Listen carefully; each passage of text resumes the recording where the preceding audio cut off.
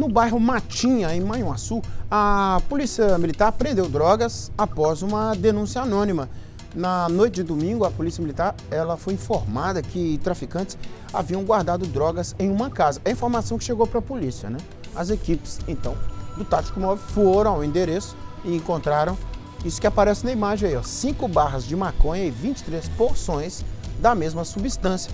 Uma máquina de cartão e uma televisão, possivelmente, diz a polícia, né, possivelmente moeda de troca para a comercialização das drogas. Tudo isso foi apreendido e encaminhado para a delegacia de polícia civil. É, tá lá, o sujeito pega a televisão, vai lá, vou trocar na droga, né? É a mesma coisa que eu falei pouco por dinheiro aqui, ó. Ah, não pode ter televisão? Não pode. De quem é essa televisão aqui? Essa televisão aqui é do Lamonier. A nota fiscal que ele comprou aqui. Ok.